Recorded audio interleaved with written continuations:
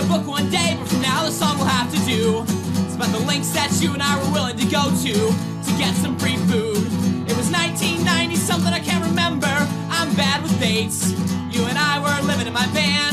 Everything that we had, we had to take. And the saddest song ever heard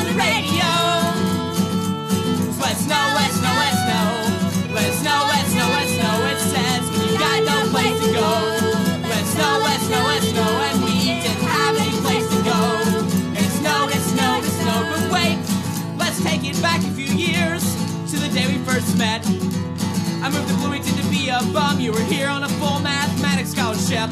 I was from a small town, you were from a small town. We became the best of friends. This is where our story begins. This is where our trouble begins.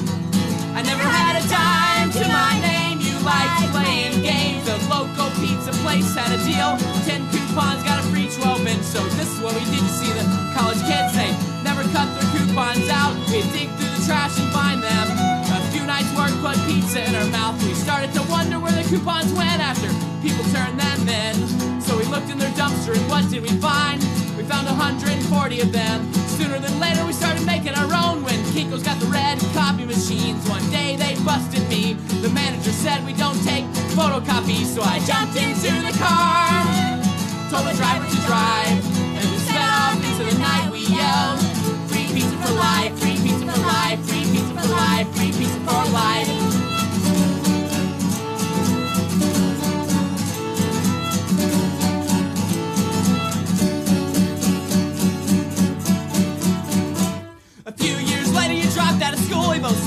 months in our hometowns. We had both been down and out, but we were doing our best to get back up now. One night we were sleeping in the van.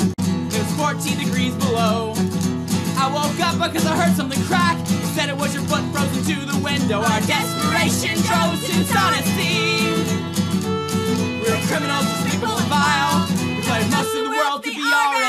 Stole checkbooks and credit cards, signed signatures that were not ours. Slice after slice, we ate pizza every night. We always shared it with our friends, gave the driver a mighty tip. In our simple minds, we'd found a slice of paradise. But I guess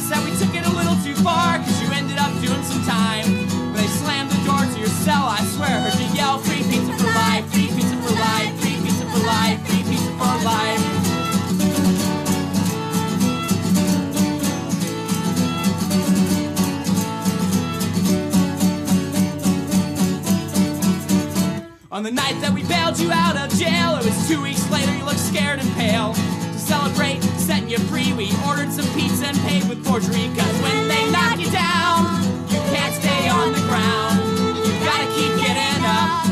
You just gotta keep putting your faith in luck. Looking back, we can clearly see that we made some mistakes.